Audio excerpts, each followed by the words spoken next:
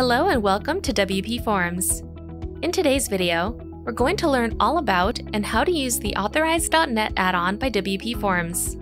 The Authorize.net add-on will allow you to easily create payment forms for your site and integrate them with your Authorize.net account to collect payments, donations, and more. Plus, you can set up both one-time and recurring subscription payments depending on your needs. With that said, let's get right into it. After logging in and installing the WP Forms plugin, we'll first need to install and activate the Authorize.net add-on. Go to WP Forms, Add-ons, and scroll down until you find the Authorize.net add-on. Click Install Add-on and wait for the status to change to active. Afterwards, we can head over to the Settings page on the left and click on the Payments tab to connect our site to Authorize.net. If you'd like to change the currency your site uses, you can select the option you need from the currency dropdown before we continue any further. Afterwards, you should see a section called Authorize.net, and below that, a subsection called Connection Status. You'll need to fill in the following two fields API Login ID and Transaction Key. To find these details, we'll need to open a new tab and log into our Authorize.net account. When you first log in, you should see an overlay where you can see if your account is currently in test mode or live mode.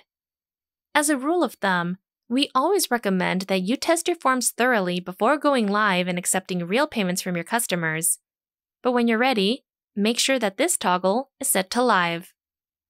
In the left sidebar, click on Settings, and under the Security Settings section, you'll see an option called API Credentials and Keys. Copy the value next to API Login ID tab back to your website, and paste this into the API Login ID field. Go back to your Authorize.net account and find the section called Create New Keys.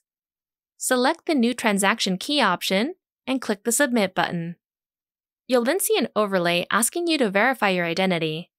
A PIN will be sent to the email address tied to your Authorize.net account once you click on the Request PIN button.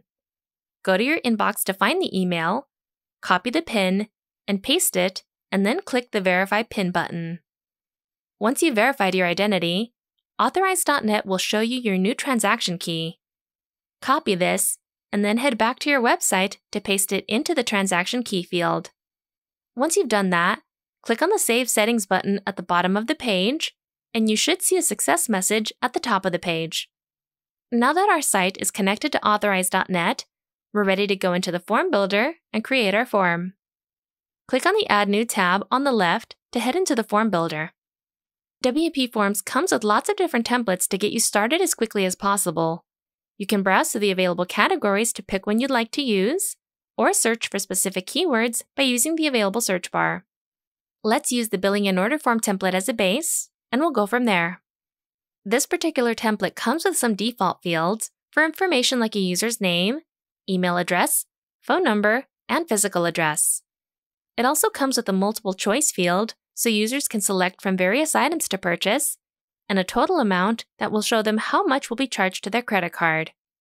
In order to process payments through Authorize.net, you'll need to add an Authorize.net field to your form. You can find this field under the Payment Fields section in the left panel. Click and drag it over to the right to place it into your form. You can customize this field by clicking on it, and in the General tab, you can update the field's label and description, as well as decide if you want this field to be required in order to submit the form. In the Advanced tab, you can change the field size, add placeholder text to the card number and security code subfields, and add a CSS class to this field if you'd like to customize it further. You can also hide the label of this field entirely, or hide the card number, expiration, and security code sublabels. And in the Smart Logic tab, you can apply conditional logic to this field if you'd like it to only appear depending on a user's input in your form. Once that's done, we can head over to the Payments tab on the left and click on the Authorize.net tab. Turn on the Enable Authorize.net Payments setting to enable the add-on for this form. In the Payment Description field, you can add a short payment description, which will appear on the user's credit card statement. In the Authorize.net Payment Receipt dropdown, you can select the form field that will contain the user's email address to send them their receipt when the transaction has been completed. This field is optional, but we recommend it so that your customers can have records of their payment. This field only applies to one time payments and not subscriptions. In the customer name field, you can select the name field from your form. And for the customer billing address, if you included a form field for this, you'll select the form field that contains the customer's address. You can enable conditional logic so that this payment will only be processed if users meet a certain criteria, such as checking a particular box or filling in a particular field. The Authorize.net add-on also allows you to collect recurring subscription payments. If you'd like to enable this feature, click on the Enable Recurring Subscription Payments toggle and then configure the following settings. You can create a name for the subscription plan and also select the recurring payment period from the dropdown. And just like before, you'll map the appropriate form fields to the dropdowns provided in this section. Additionally, you can also apply conditional logic here so that a payment will only be processed as recurring if the user makes a particular selection in your form. WP Forms will automatically send a notification to your site's admin email address once a user submits a form. With the Authorize.net add on, you can also specifically get a notification once a user has finished paying in Authorize.net. To enable this option, click on the Notifications tab on the left, and at the bottom, you'll find an option called Enable for Authorize.net completed payments. Turn this on to receive email notifications specifically for completed payments in Authorize.net. Once you're done making your changes, click on the Save button on the top right corner and you're all set. You now know how to accept Authorize.net payments through your site's forms. If you have any questions or concerns, please be sure to visit WPForms.com and check out our documentation page, which has step by step written instructions for all of our features and add ons.